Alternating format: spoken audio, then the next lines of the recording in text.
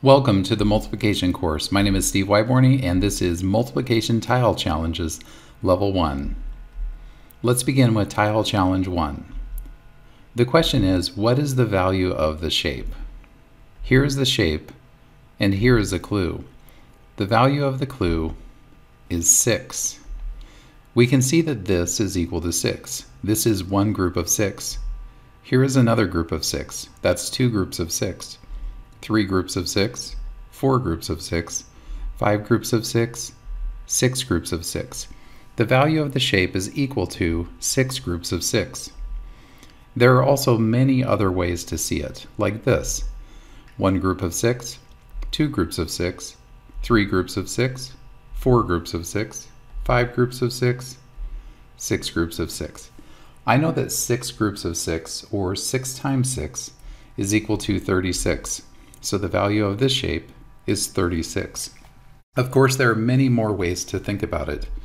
If this is 6, then this is equal to 12. So I can think about one group of 12, two groups of 12, three groups of 12, which is equal to 36. You may have noticed that the red rectangle is a different shape, but notice that it covers the same number of squares as the other groups of 12. Another way to think about this is to break the 6 apart. I'll show you an example. This is equal to 6, and it's covering two squares. So this is half of 6. I know that half of 6 is 3.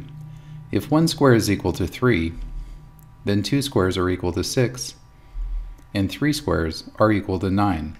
So this is one group of 9, and I can find more groups of 9. Here is one group of 9, two groups of 9, three groups of 9, four groups of 9. 4 times 9 is equal to 36. Even though we solved it a different way, it's the same total. The total is 36. There are still many more ways to think about this shape. If this is equal to 6, and this is equal to 3, then I can find a group of five threes, like this.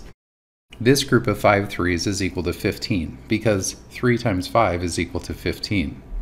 And if this group is equal to 15, then this group is also equal to 15. So there are two groups of 15, which is equal to 30.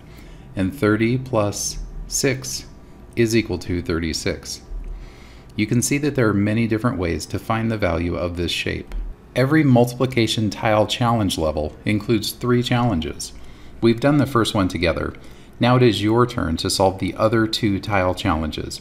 The rest of this video will be silent so that you can concentrate and use your multiplication ideas to find the value of each shape.